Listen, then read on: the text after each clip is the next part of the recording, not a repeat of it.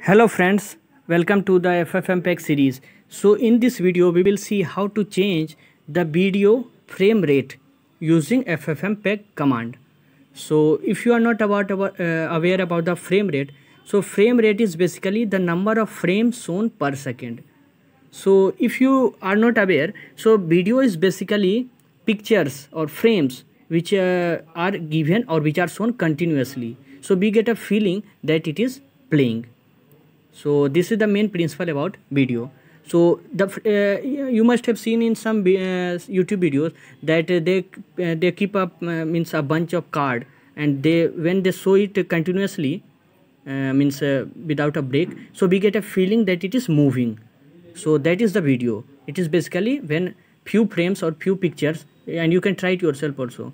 When you play the pictures when you show the pictures continuously we get the feeling that it is moving so the same principle is applied for the video. Frames are shown one by one. So the number of frames shown per second is called the frame rate. And that we are going to see how to change it using ffmpeg so let me at first see, uh, show you the detail. So let's say i have this video. So let's see the frame rate.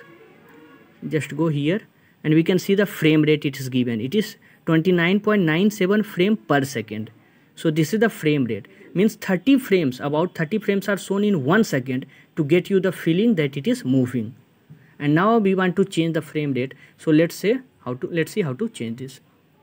So this is the command we have to use. This is very simple. So see at first you have to give the ffmpeg you have to write ffmpeg then dash i means for input. So after dash i give the input file. What what input you want to give so in this case we are going to use medium.mp4 file that i have shown you medium.mp4 so this is the file i want to operate on. And then dash r dash r is basically for frame rate. So after dash r you have to give the frame rate. So i want the frame rate to be 20 means 20 frame per second. So write it here. You can give any frame rate. And then after that give a space and then output file name. So you can give any name. I have given this name. And then hit enter yeah. And just wait for it. It will take some time depending on the length of the video that we are playing. So this is i think i uh, are you you are clear about the uh, commands? So basically uh, for every uh, ffmpeg command this is the common. Ffmpeg you have to write then dash i and this input file name. And simply for frame rate you have to give dash r and then give the frame rate you want. So i want to be 20 you can change it to suppose 10 also 15 also whatever you want and initially remember this is this was 30 and then output file name. So see if it has been completed or not. It is still going on. It depends on the length of the video.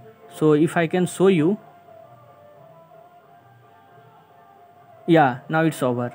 It has been done. So we can go here. We can check uh, where it is. Yeah vid fr20 we can go to the properties video yeah frame rate you can see 20 frame per second. So it has been changed successfully. So this is the power of ffmpeg command. Due to uh, with the help of which simply we can change the frame rate. So this was all. Thank you. Thank you guys